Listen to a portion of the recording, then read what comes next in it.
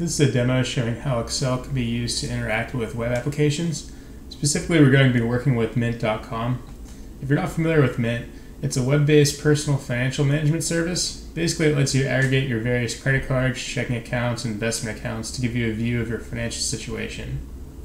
Now, this video isn't intended to be a tutorial or something that I would sell commercially. It's just an example of a problem that I had with Mint service and the way I got around it. As I mentioned, Mint lets you connect your credit cards to summarize your spending over time. The problem is, they're only able to import a few months of transactions when you sign up.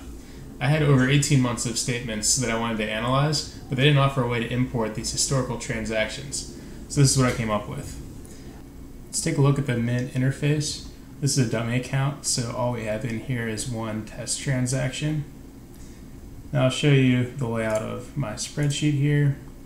We have the date, description, amount, category, and then this category ID that you have to kind of programmatically pull from Mint in this circumstance.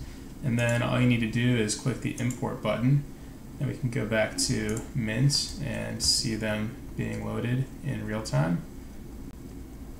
And now all those transactions that are in my Excel sheet are now in Mint.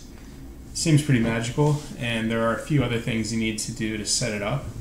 This gets a little technical, but let me kind of demonstrate what's going on in the background.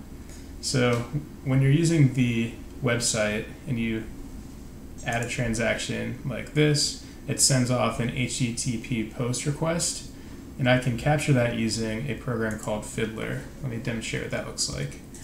So if I just fill out a, another test transaction here, I can add whatever category, an amount of one, and then you can say I'm done.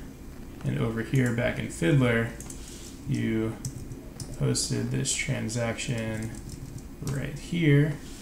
So this is the raw data that's being passed to Mint. Copy that into another page to look at it more clearly. So what we need to pull is this cookie. This is basically what identifies you as being logged in. So when you send that, Mint knows which user to apply these transactions to. And then I paste that right in here. And same deal with this token. This lets them know that it's a legit transaction being posted.